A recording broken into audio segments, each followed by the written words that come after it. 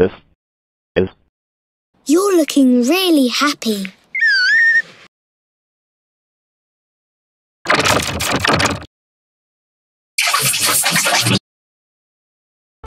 so here we go.